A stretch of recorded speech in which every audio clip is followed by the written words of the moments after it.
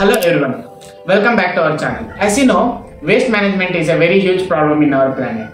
So what happens is, you uh, combine all the uh, waste like dry waste, wet waste, metal waste together and you will put it in a vehicle for taking waste and all. So what happens is, it's very difficult to segregate the waste depending on their properties. Why? Because like if you uh, use metal waste, they can uh, recycle and use it somewhere else. But if you mix with uh, dry waste, you cannot do that one. It's same as organic waste. If it wet waste, if it dry, uh, combined with plastic and all, you cannot use it for manure and all. It's very difficult to segregate that uh, issue. So I'm here with a uh, project where you can solve this problem.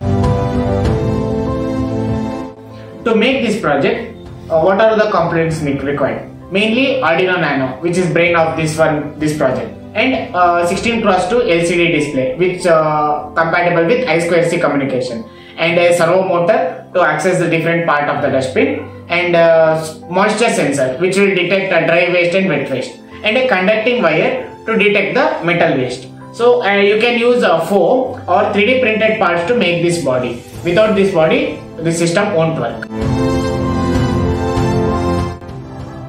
So let's see how this project works.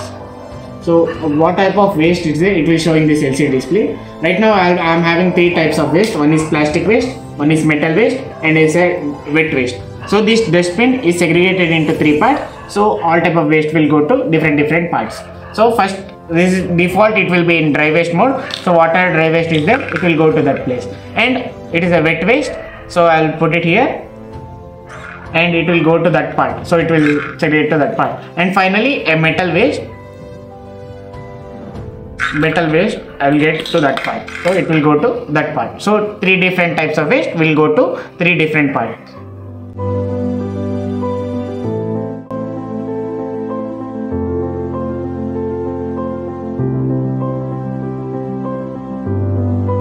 let's analyze the circuit. Arduino acts as the main brain of this project.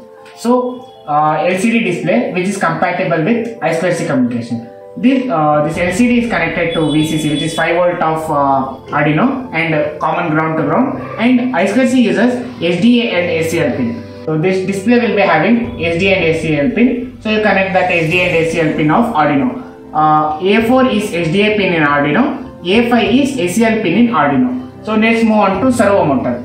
To power the servo motor, we'll connect VCC of servo motor to 5 volt of Arduino, ground of servo motor to ground, and digital pin 9 of Arduino is connected to signal pin of servo motor. This D9 is a PWM pin. So you can control the servo motor through Arduino only using PWM pins. Next move on to moisture sensor. This sensor detects its uh, dry waste or wet waste. So here also same VCC and ground which is connected to 5 volt and uh, ground of Arduino and A0 pin. A0 is a analog pin. So the soil moisture sensor gives analog values like 0 to 1023. So you'll get to know which is dry and wet waste. And uh, this is a conducting wire which is used to detect metal. So one pin of the conducting wire will go to ground and another pin of conducting wire will go to digital pin D12. So when the metal is touched this uh, two terminals, we will get to know the metal is conductive, so we will segregate like that. And the whole thing we can power using a battery. So normal G uh, minus of the battery will go to GND of Arduino and positive of the battery will go into V in pin of the Arduino. This is a simple circuit diagram of our project.